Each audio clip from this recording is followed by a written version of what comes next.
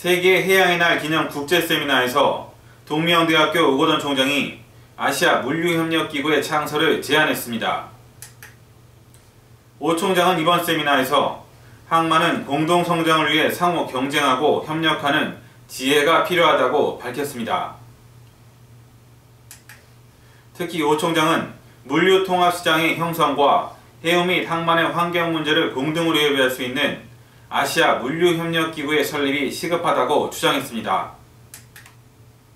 오 총장은 해양수산부 장관으로 재직하던 지난 2005년 한중일 물류장관회의를 성사시킨 바 있습니다. 아시아 물류협력기구 창설 제안은 이번 세미나에서 국제해사기구를 비롯해 각국 대표들에게 큰 반향을 일으켰습니다. 세계해양의 날 기념 국제세미나는 지난 11월 4일부터 6일까지 터키 이스탄불에서 개최됐으며 세계 해양 분야 전문가 100여 명이 참가했습니다. KSG 뉴스 배종환입니다.